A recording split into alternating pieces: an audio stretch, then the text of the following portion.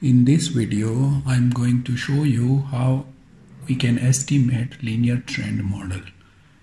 Linear trend model refers to a regression model in which the dependent variable uh, is um, uh, a linear variable whereas the independent variable is the trend variable or the time variable. So we when regress a variable on a linear trend we call such model linear trend model.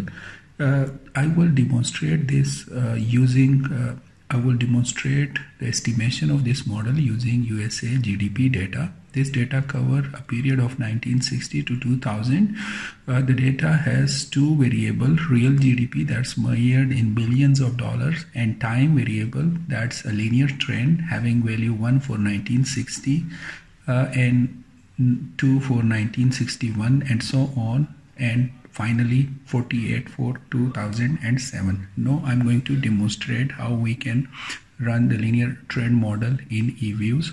So let me switch to eviews.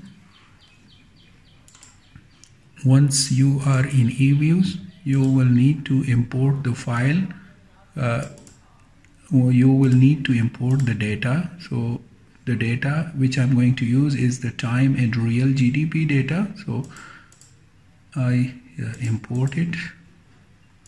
So here is my work file having two variable real GDP and time and two system files constant and residual.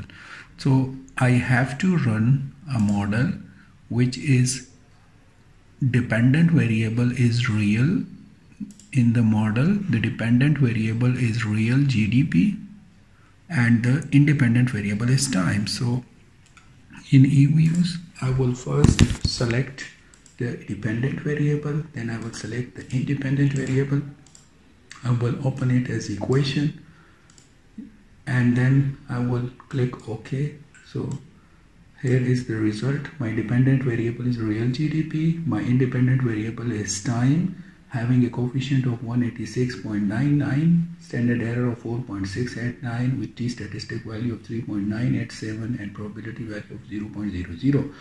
The R square is 0.97, the F statistic is 1589.756 with a probability value of 0.00. The model is good fit with higher F statistic value and also the time variable being statistically highly significant with R square 0.97.